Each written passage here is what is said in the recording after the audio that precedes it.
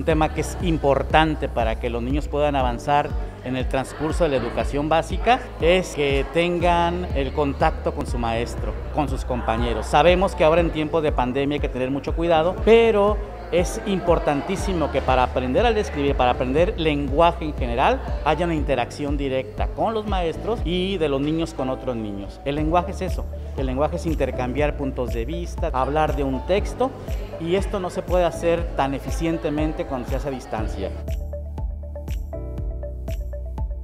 Juntos transformemos Yucatán, Gobierno del Estado.